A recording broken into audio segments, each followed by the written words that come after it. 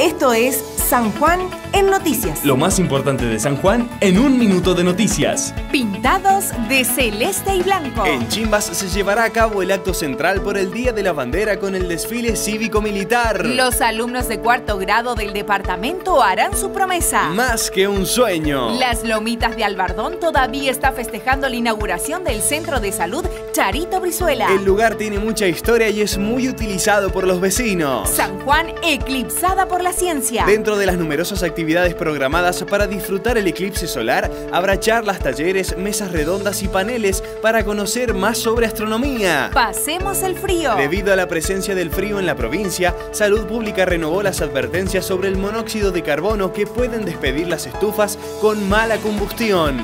Esto fue San Juan en Noticias. Podés seguir estas y más noticias en cisanjuan.gov.ar.